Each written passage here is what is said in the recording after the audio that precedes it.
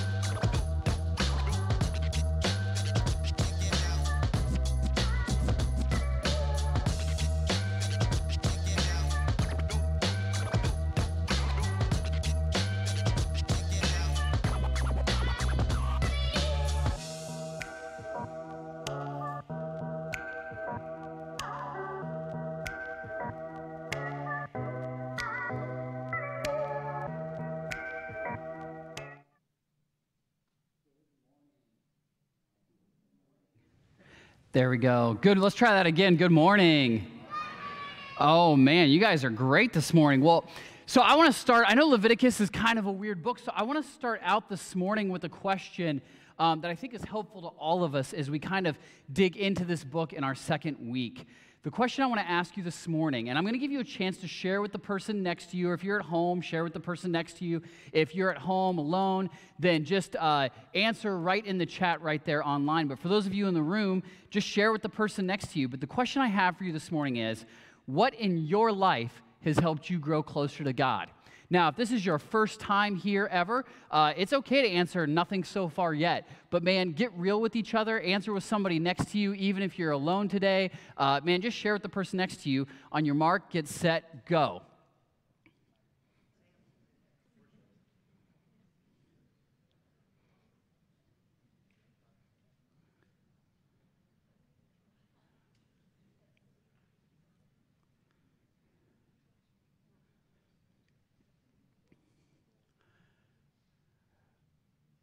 Good. I hope, I hope that starts kind of a, a good discussion today. Um, but my guess is in a room this size, even though we have a lot of people in this room, even more watching online, I'm guessing the most common answer in the room was not Leviticus. I'm guessing most of you did not say the thing that has helped me grow closer to God is every time I read in Leviticus about how to sacrifice animals, every time they pour oil on somebody, every time there's all this blood and guts, it just makes my heart sing. If it does, you may need help, okay? But here's why Leviticus is so important. You see, in Genesis, we see that God creates the earth, and it is a beautiful, wonderful place where He can dwell intimately with God. And he takes Adam and Eve and he puts them in the garden, and their role is to know God and reflect his presence to all creation and to all of humanity, really. But then Adam and Eve decide to do things their own way, and this brokenness, this sin, this rebellion enters into humanity. But it's okay because God has a plan. He chooses one man and his family, Abraham, and he says to that man, I am going to bless you, and then through you and your family, I am going to bless and restore all the nations of the earth. But then Abraham's family eventually goes into Egypt where they become slaves. Things are hard, they're being oppressed. They cry out to God, and God rescues them through, the, through a man named Moses. And he rescues the people. And if you read in Exodus, something we almost always overlook is that throughout the account, God says, I'm going to free you so that you can worship me. Moses and all the people go to this place after they're freed from Egypt called Mount Sinai, where God starts to tell them that you are going to be my nation of priests. And I am going to use you as a group of people to bring everyone close to you. And God is giving Moses instructions on top of Mount Sinai. He's in his presence. It's awesome. He gets the Ten Commandments. As all that's going on, the people on the ground, including Aaron, Moses' brother, begin to break many of those Ten Commandments.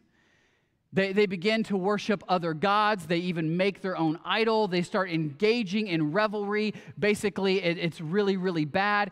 And they, they choose once again to walk away from the God who freed them. But God graciously forgives them, and He decides that He is going to dwell among this sinful and broken people. And so He tells, gives Moses instructions for this thing called a tabernacle. It's essentially a, a tent uh, with a kind of an outer court, an inner court, and in the, in the middle of it is this tent that is the Holy of Holies where God's presence is going to dwell among his people. It is always God's intention to bring us close to Him.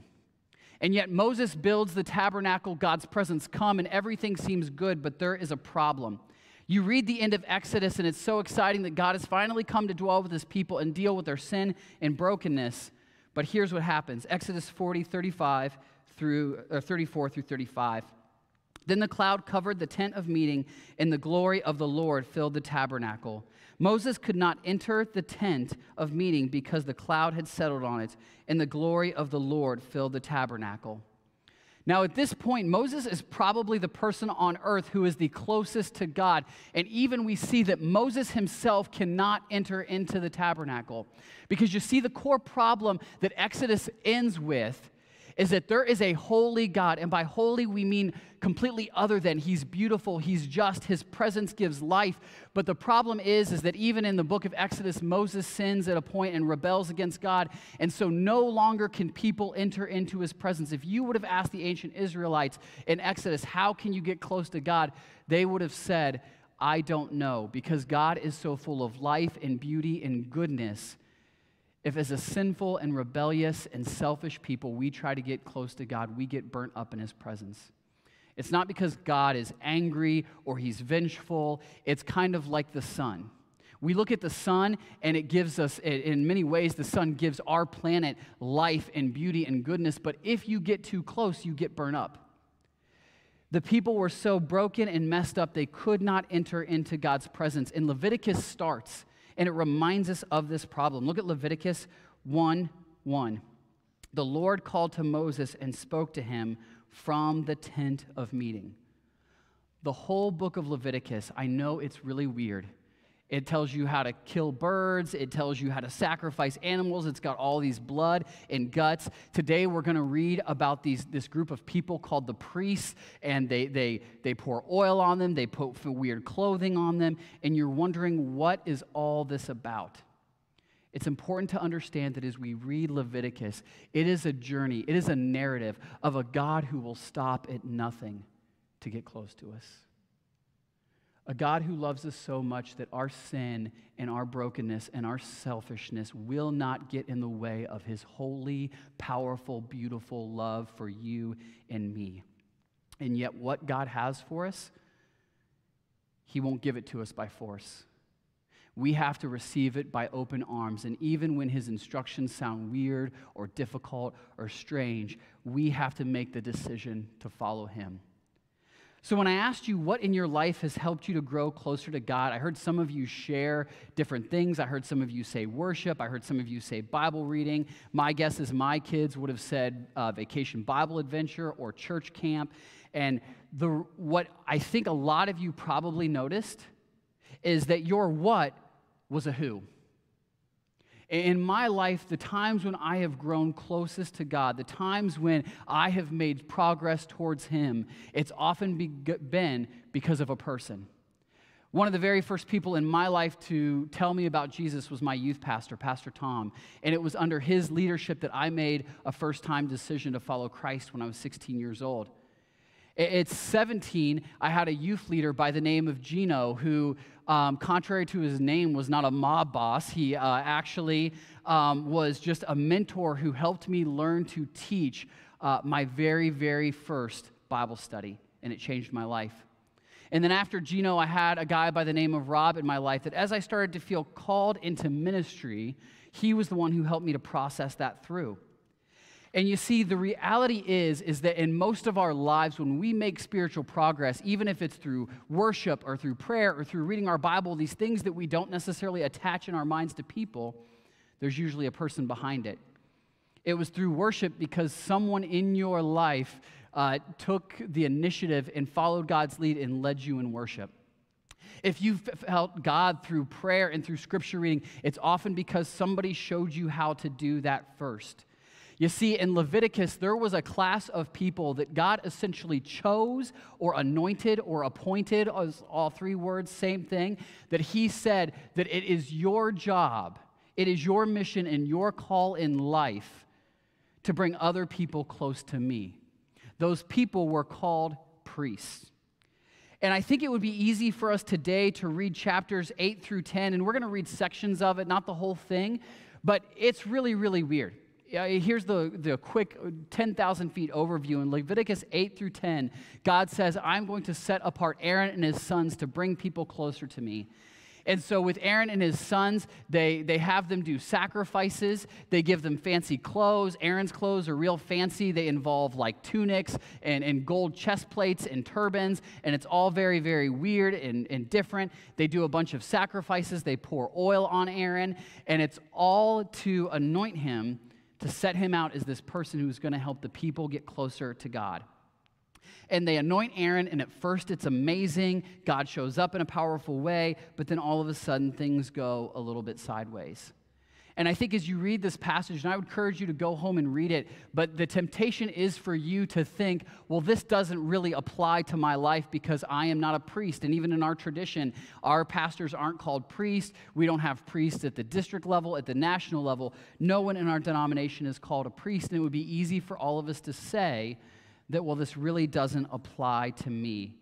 And yet, in the light of the New Testament, it refers to Jesus as our high priest. And it says that he is calling every single one of us to be part of his kingdom of priests.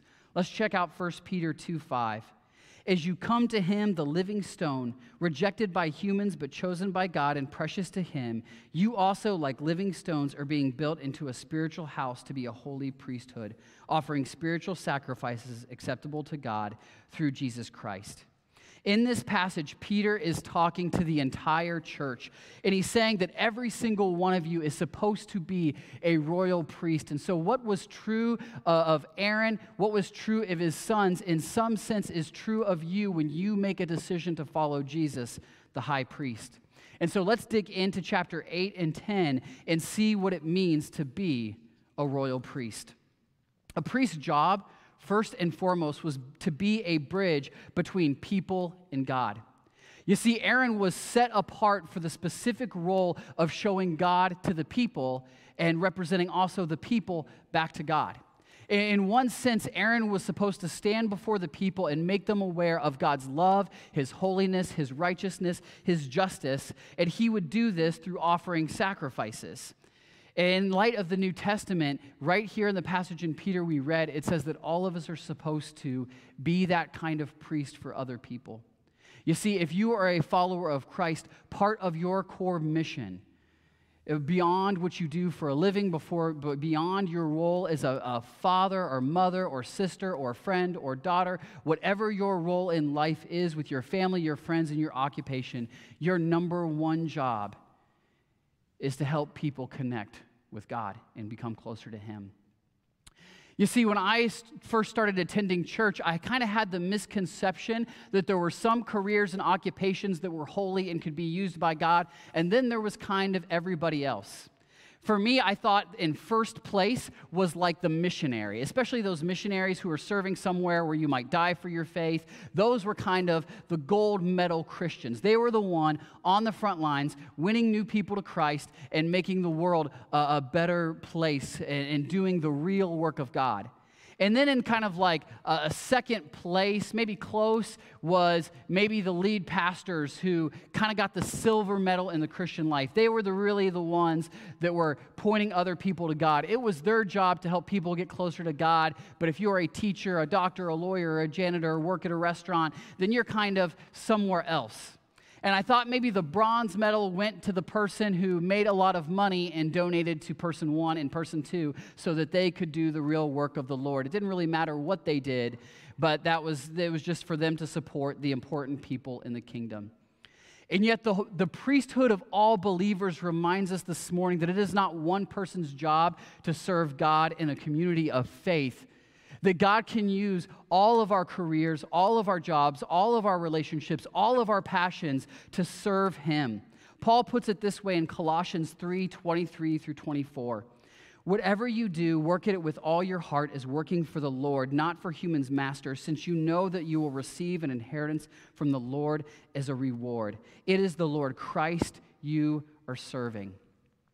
Now, Paul here is not talking to just priests. He's not talking to just pastors. He's not talking to just people who work in the church. He's talking to people who are farmers, people who are doctors, people who are tradespeople. He's talking to people who are tax collectors. He's talking to all different people from all different walks of life. And he's not saying to make an impact for God, you need to change your career or your location or do something radical. He's saying you need to serve God right where you are at, no matter what occupation you have, you can use it to serve Christ.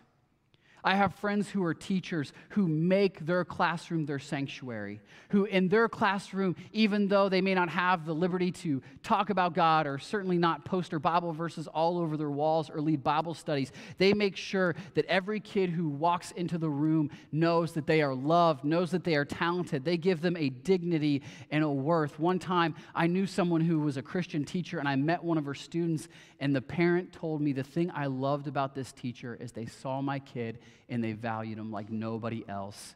And that parent knew it was because that teacher was a Christian, even though the teacher didn't yell in class and give testimonies about their faith.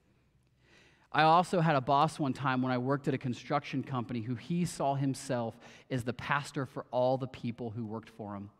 I remember he would hire guys who it was kind of their last chance. They had made some mistakes. Maybe they had gotten fired from a couple of jobs in the construction field, or maybe they had made some mistakes and got in trouble with the law. And I remember my boss would sit down with them and say, Hey, listen, I am giving you one more chance because I believe that every single per- person has a purpose in their life and God can use them. And I want to give you that opportunity to show the world that you can do a better job this time. And he would hire people that nobody else would because he believed that every single person had value and worth to offer. I also knew one time a boss who saw that one of his employees was struggling with depression and he pulled him aside and said, Hey, you're not in trouble, but I'm noticing that you're going through a rough patch. And even though I've heard that you want to take your own life, I want you to know that you are valued and loved by God and that you are so valuable to this company. And I can't imagine this company without you. I want to make sure we get you the help you need, but know that you have value here. I don't know what your occupation is. I know a lot of you, but I don't know everyone. But what would it look like if when you went into work on Monday morning, or when you, if you work inside the home primarily, when you get up and you start getting the kids ready, what if you took the time to just realize that your number one goal with whatever your occupation is, is to be that bridge between people and God? Every single one of us are called to do that with our occupation, but it starts with us getting right with God first. You see, a priest has to be right with God in order to be that bridge. And in chapter 8, Moses has Aaron do all these sacrifices. He anoints him with oil. And after all these sacrifices, the ordination ceremony is like eight days long. It's like a really intense graduation ceremony. And at the end of it, this is what Moses says to Aaron in Leviticus 8:34. He says this. What has been done today was commanded by the Lord to make atonement for you. Now, atonement's a fancy word, and we don't use it a lot in modern English. Basically, what atonement means is kind of the removal or the cleansing away of sin. If you think of a piece of clothing that's been dirty and stained and ruined, to put it in the wash and to remove all the dirt, all the filth, everything that doesn't belong, it's that the word is atonement, this idea of the removal or washing away of sins. One easy way to understand it is just break it down and just pronounce it at one mint. This idea of going through something that makes you one with God. You see, in order to be a priest, in order to be a mentor in someone's life, you have to make sure that you are leading by example. Aaron, if you read in Exodus, he was the one who led the people in sin. He was the one who made so many mistakes in the book of Exodus. Time and time again, he sinned. To be a priest for someone else, to be a part of God's kingdom, it's not about you being perfect, it's about you being forgiven. It's about you having your sins washed clean so you can show someone else the way to encounter God yourselves. It was years ago uh, when i first bought my first house I was, I was living in fort wayne at the time and we bought our house and when we moved in i noticed very very quickly that the, the sinks were stained and the toilets were stained and they weren't that way when we when we bought the house but everything was getting stained. Even in the shower you could see some kind of stain starting to develop even just where like water had dripped and I started to do some investigation, and people said, well, it might be because your water's hard. So I went to Lowe's and got the little test strips. And the idea is that if your water is hard, it can cause damage to your pipes and your fixtures, and you got to fix that with a water softener. So I got one of those little strips to see if, if there was something wrong with the water in my house. And I remember red was your water's hard, yellow, it's fine. And it was on this continuum. I remember putting my test strip in, and it came out black and I'm sitting there trying to like match it up, and it doesn't even, it's not even on the spectrum. So I'm like, okay, I think my water's hard. So I went to the store and I, I desperately wanted a water softener. They told me, oh, you the guy at Lowe's said you can install it yourself. So I bought the water softener, I brought it home, I got out the instruction booklet, and you thought Leviticus was hard. Okay? There were so many little pieces and all this kind of stuff. And then I saw a picture of a blowtorch, and I was out, people. I was like, let me call somebody who knows what they're doing. So I called a guy. He came, and in about an hour, he just kind of, like in two minutes, he looked at the instruction booklet. It made sense to him, and then he installed it in like 30 minutes or less. Now, my guess is to achieve that level of skill, he had made a lot of mistakes. But in order for my house to experience, for me to even live there, for me to experience the goodness of water that does not burn through your pipes, to experience life as God intended in that home, I didn't need somebody who was perfect. I just needed somebody who was willing to show up. There are people in your life who God has called you to be the one to show up. That on Monday morning, they're not having a conversation with a pastor, they're not getting on YouTube and watching a sermon, they're not reading their Bible, they're not praying, but you have the opportunity through your love and your kindness to show them the very presence of God. Michael and Andy both mentioned revival earlier in this service. And if you don't know what revival is, we don't mean like just a white tent and somebody who preaches for three hours and lots of people who wave handkerchiefs and run around really fast. What we mean is a period in our lives, in our churches, and in our country where people experience the presence of God, where there is repentance, where there is wholeness, where there is healing, where people are living for God in extreme and powerful ways. And I listened to a pastor one time who went on his sabbatical to study revival movements. And when he came back, his name was Jon Tyson. He said, In every revival moment I've noticed, here's what I've seen is that it starts with a holy discontent with self then a holy discontent with church, and then a holy discontent with my society. And what he meant by that is when you have a holy discontent with yourself, it is not, I'm not talking about depression or woe is me, I'm the worst and most awful sinner who's ever lived, I hate myself, I want to die. But it's this idea, like Aaron, where you say to God, God, set me apart. I want to be holy and completely set apart or consecrated for your will and your purpose. I know that I can go deeper with you. I want that. And you get on your knees and you pray until God sends it. And then there's a holy discontent with church. And what I mean by that is not, well, let's get mad at the pastors, let's get mad at all the leaders, let's look at everybody through perfectionist eyes, and once they are good enough for me, then we can have revival. No. But it's this idea that I've gone so deep with God, I want this for the people around me. And you begin serving, you begin doing, you begin wanting to see God's change. And then you get this holy discontent with society. Not this, they're sinners, they're awful, everything will be okay when everybody does what I want them to, whether they like it or not. You see, it's more like you see people who are hurting and broken, and you are willing to do everything you can to let nothing stop in your way to show them the love and the blessing and the mercy of God. Because you see, revival happens when we understand that we have been called wherever we're at to be a bridge between God and people, that we set ourselves apart, that we decide to get ourselves right with God first and be the example, not because we're perfect, but because God is powerful enough to transform our hearts. And then when you do that, a priest is called to extend God's blessing to others. In Leviticus 9 22 through 24, um, Aaron, this is the end result of all the sacrifices, all the rituals, all the things that seem weird to us. We have this passage that I honestly think is pretty awesome, so I want to read it to you. Then Aaron lifted his hands towards the people and he blessed them. And having sacrificed the sin offering, the burnt offering, and the fellowship offering, he stepped down. Moses and Aaron then went into the tent of meeting. Look at that right there. All these rituals, all these things, they actually worked. Aaron and Moses enter into the tent of meeting. When they came out, they blessed the people, and the glory of the Lord appeared to all the people. Fire came out from the presence of the Lord and consumed the burnt offering and the fat portions on the altar. And when all the people saw it, they shouted for joy and fell face down. How amazing would it be if we saw God's presence in such an undeniable way. We felt the love and acceptance of God wash over us, wash over our church, wash over our community. And the exciting thing is, is all this happened when Moses acted as a priest, and he did this thing that we don't talk about a ton in the church anymore because once again, it's one of those weird words.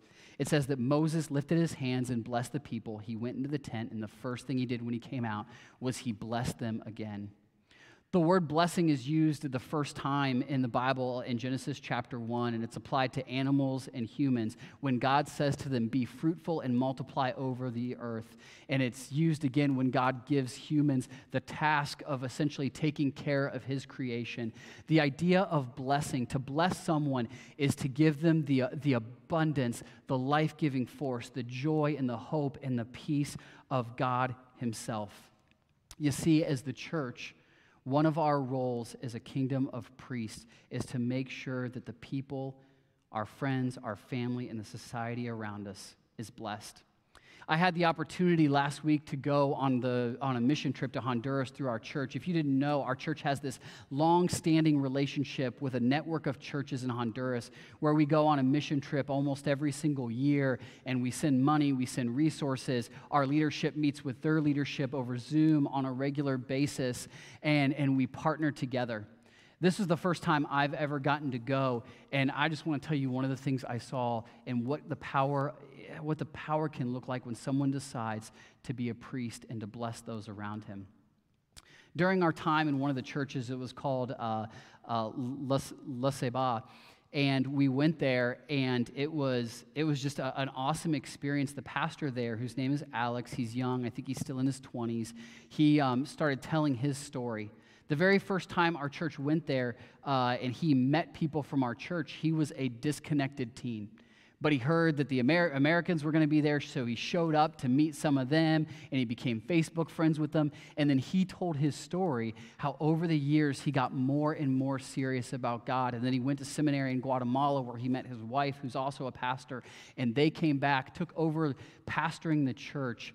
And it was awesome to see how he uses all the resources uh, not only that we've sent over, but that they've gathered themselves to really be a blessing to that neighborhood. They have a ministry center there, and it was really cool to me. It has a, around six or more rooms, and he went through and showed us all the rooms, and every single room was being used for ministry. Every single room was being used to bless people. One room, him and his wife tutor kids after school every single day to make sure that there's not a lapse in education in their community. In one of the other rooms, they teach children and young adults and even teens about the Lord. In another room, they use, and some of their other rooms they use when there was a huge hurricane and people lose their homes, the church actually opens up those rooms for people to stay. And it really, God used it to impact me because every single inch of his life was used to bless others. And so, as God's priest, we are really called to go wherever He has already placed us and to use everything we have to bless others. But a priest is also accountable for living and teaching obedience to God's will. I want to read to you Leviticus 10, 1 through 3. And in this story, this is right after uh, Aaron and the priests do all these sacrifices and everybody starts worshiping God. Moses comes out and Aaron comes out. They bless the people, and all of a sudden things go a little sideways. Here's what happens Aaron's son Nadab and Abihu took their censers, put fire in them, and added incense. And they offered unauthorized fire before the Lord, contrary to his command. So fire came out from the presence of the Lord and consumed them, and they died before the Lord.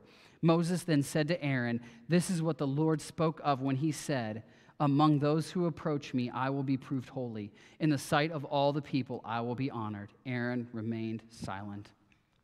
If you read this passage through our modern eyes, it really feels like, God, what are you doing? Like, are you that vengeful and angry that they just make one mistake and you literally go from having this fire that's bringing joy and peace and happiness and showing love and acceptance, and all of a sudden you just kind of redirect it and just mop the floor with these two guys who all they did was they just offered a little unauthorized fire before the Lord? What's the big deal? And commentators disagree on what the problem here is, but there's three that things that I find uh, pretty persuasive. One thing that is probably going on here is that Nadab and Abihu, Aaron's sons, are trying to essentially control and manipulate God. You see, where they came from in, in, Egypt, pagan religions were all about saying the right prayers, doing the right rituals, and if you did, you will control the gods because they are mean, they're vengeful, they don't love you. And so you say your prayers, you do the rituals, so that you can control and manipulate the gods into doing what they want to do. And so God's trying to say, I am holy, I'm different than those other gods. Don't come into my presence and try to manipulate me. Another problem is, is that, in, and this you can see this in uh, chapter 16, um, it says that Nadab and Abihu died because they actually tried to enter the Holy of Holies. Moses and Aaron were only the ones who were supposed to enter, and so they kind of took it upon themselves to go where God had not invited them, once again, kind of being arrogant.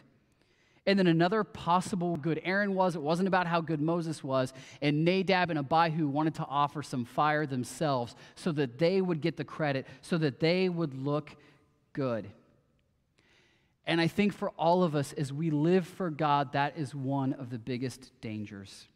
You see, it's far too easy to take out our pen and the piece of paper that is our lives and just kind of write down all of our plans for our lives. God, this is what I want to do. This is how much money I want to make. This is what I want my life to look like. Here is my plan. So, God, I love you. I'm going to put you first, and so I'm going to let you put your stamp of approval on it. Go ahead. I'm going to actually, I'll set it over here, God, and I'll just wait for you to give your stamp of approval. I'm going to go get started. I'll come back and see if you've okayed my plans for my life. And uh, if, if I see your stamp, great. Um, if not, I'll just pray more. I'll just do more. Because at the end of the day, I know what I'm doing. I think I know what's best for my life. When following God, being his royal priest is actually not about coming to God with a full sheet of paper that is your life. It's actually about coming to him with a blank sheet and saying to God, God, whatever you want to do in my life, that's what I want to do. Because if I try to manipulate, if I try to scheme, if I try to do what is wise in my own eyes, at some point, the work of my hands, the things I do, I will realize that I have been trying to offer fire to you that was from my power and not yours. And that leads to hurt and to pain and to damage for me and for those around me. But God, I am going to wait and you you tell me to walk in obedience. And no matter what that looks like, time and time again, the leaders, the priests fail, they mess up, they sin, and they keep doing doing sacrifices over and over again, and yet the people's hearts remain hard and unchanged. And then one man walked onto the scenes a little over 2,000 years ago, and at his baptism, and I won't go over all the details, but at his baptism, in many ways, that passage is trying to show you that there's a new high priest on the scene. And then after his death and resurrection, here's what the writer of Hebrews says about Jesus and us. This is Hebrews 10 10 through 14. And by that will, meaning God's, we have been made holy through the sacrifice of the body of Jesus Christ once and for all. Day after day, every priest stands and performs his religious duties. Again and again, he offers the same sacrifices, which can never take away sins. Here, the writer of Hebrews is essentially saying that the, the Jewish people, the priests, are still making daily sacrifices, but they aren't changing anything. But when this priest, meaning Jesus the high priest, had offered for all time one sacrifice for sins, he sat down at the right hand of God, and since that time he waits for his enemies to be made his footstool. In other words, Jesus is waiting for the time when he returns and all evil, all sin will be removed and destroyed and cleansed away from our world. And then it ends with this For by one sacrifice he has made perfect forever those who are being made holy. I think for many of us, we should be more excited to live in this day and age than any other time. If you read in the Old Testament, there were some amazing times when God appeared. You can think of the parting of the Red Sea or countless miracles. You think of Jesus walking the earth, and part of me would always just love to get to be around him and see his healing, see him forgive people's sins. But the reality is, Jesus himself said, It is better if I go and sit at the right hand of the Father because I will send the Spirit. And like Peter talked about and elsewhere in the New Testament, when we make a decision to follow Christ, we become a kingdom of priests that Jesus now works on this earth through us, moving in and through us by the power of the Holy Spirit. And I have to be honest with you, it is a challenge to me because far too many times in my life, I think my life will be successful if I make enough money, if I have enough status, if I look good enough, if people think I'm talented or smart or special. And yet, we, if we measure the success of our lives by our performance, it is like drinking a poison every single day and expecting it to nourish you. Where in this passage, but also in the Old and even more in the New Testament, we see that success is measured by obedience to the will of God and that if you decide, Lord, I want to be your holy priest, man, that will help you see your friendships and your family different. Absolutely. If you're a dad like me, you're supposed to provide for your family, and that includes food and shelter and clothing. And families, uh, parents are supposed to provide that. Moms and dads supposed to provide those things for their family. And yet, your number one job as a parent is to help your kids get closer to God is your vocation no matter what it is. You are you have been created to use that vocation to bring the blessing and goodness of god into the world. And we need to see our faith differently as well. It's not just about getting on the heaven train so that when we know we die we go to heaven. Although if you ask jesus to forgive your sins absolutely you can know when you're going when you die you're going to be with him forever but Christianity isn't just about getting us to heaven, it's about getting heaven down here. As Pastor Andy prayed, Your will be done on earth as it is in heaven. When we see ourselves as holy priests, we are seeing ourselves as people who, right now on this earth, are supposed to rule and reign, not as overlords, not as people who think we're better than anybody else, but as people who are here to serve by the power and love of God. All of us are called to help people get closer to God. One of the ways we do this at the Valley is through journey studies. Man, you can sign up for the journey study today. If you have been through the journey study, then you can lead someone through the journey study. It is an eight week study to help you grow in your faith. We also have life groups at the Valley. And during the summer, a lot of our life groups take breaks. We still have a few on the wall, but even more importantly, what it might mean for some of you today to be a priest is to lead your first life group ever. And if you're interested in that, just go to the church website, find my email, and email me. It's just ryan.wright at thevalley.church. But no matter where God is calling you, be obedient to his voice to mentor other people and to invest in those relationships where people are helping you get closer to God and where you are helping other people get close to God. A while ago, I was listening to a podcast, and they were interviewing uh, one of the producers of Elf. His name is Todd Komarnicki. Elf is a Christmas movie with Will Ferrell in it, and he's actually, Todd Komarnicki is a believer. And he was the producer of the movie. And somebody was interviewing him, asking him how his faith impacted his movie career. And he said, That's a hard thing for me to answer because my faith is so integrated with who I am. That's like asking me, you know, how, how does having two hands change the way you do a movie? He said, it's very, it's just been a part of who I am for so long. But the person kept pressing him, and he said, well, one of the things I do is every day when I sit down to do my job is, is, as a producer, here's the prayer I pray, or the prayer that I pray. And I, I wrote it down. I want to read it for you. Lord, I surrender this day to you and I pray that you would empty me of myself and completely and fill me with your Holy Spirit, so that the words I speak, the thoughts I think, and the deeds I do, and the words I write would be yours and not mine. Sanctify me and set me apart for your work, and use me as an instrument of your divine peace. Here's my prayer challenge for you this week over the next seven days, what I want you to do is before you begin your work, whatever that is, is sit down and essentially just pray to God and say, God, make me your priest. God, help me to live in such a way to reflect you to others. And for those of you that have the notes, you can get them through the app or they're on a table in the back. I've written a little prayer there to kind of get you started. And I would encourage you to, to write your own. But if you need help because you've never prayed before, just read that, use it as an outline, help it give you language to talk to your Father. Let me pray for us as we end today. And may God's power and presence be upon you because Jesus is our high priest and he is calling you to be his kingdom of priests. Let me pray. Father God, I thank you for your goodness and your will.